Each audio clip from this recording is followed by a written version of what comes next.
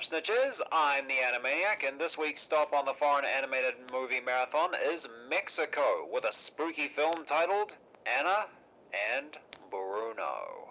Directed by Carlos Carrera, it follows a little girl named Ana who escapes a mental hospital to look for her father so he can save her mother who's in that mental hospital.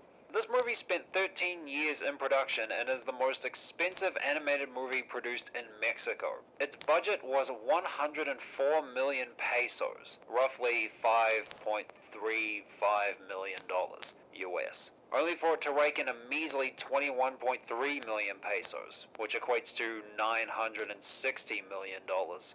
The suspected reasons for this poor turnout was parents walking out of the theater saying that it's unsuitable for their children despite its for all audiences rating. The movie contained real life issues like mental illness and death. That sounds like some of the subject matter any other animated movie could tackle with maturity and dignity. Along with its dark tone, parents claimed was too depressing for children. So, is the movie any good despite all that?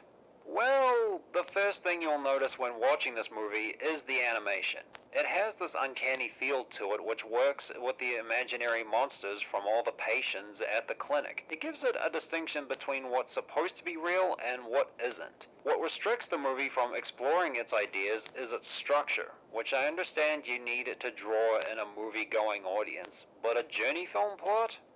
Okay, I will admit the friendship she has with the blind homeless kid is sweet, but personally I would have preferred if the movie focused on the doctor trying to understand cure her condition. That part I would have found interesting if the doctor looked, well, normal. Ana and Bruno had some very interesting ideas to explore and tries to make an okay use of the cheap, uncanny CG, but it's held back by its traditional, if not cliched, story structure and characters. Ana and Bruno is just acceptable.